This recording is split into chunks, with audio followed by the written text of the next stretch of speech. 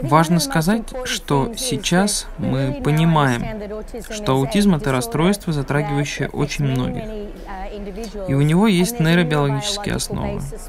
Одна из самых важных вещей – это то, что мы должны смотреть на человека и думать о том, как он существует в окружающей среде, взаимодействует с миром, не только для того, чтобы понимать нейробиологические механизмы, но и для того, чтобы понимать, как это влияет на его моторное развитие, на обработку сенсорной информации, моторное планирование, как конкретно он взаимодействует с окружающей средой?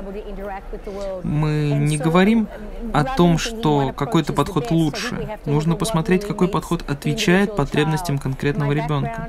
Мой опыт работы связан с развитием моторной сферы и развитием обработки сенсорной информации. Позже я начала работать в подходе Dear for Time, который интегрирует многие модели раннего вмешательства. Потому что в работе мы отталкиваемся от взаимодействия с конкретным ребенком, как он обрабатывает информацию, какое у него моторное поведение, коммуникации. И также думаем над его эмоциональной перспективой. Потому что когда он взаимодействует с миром, он получает эмоциональный ответ.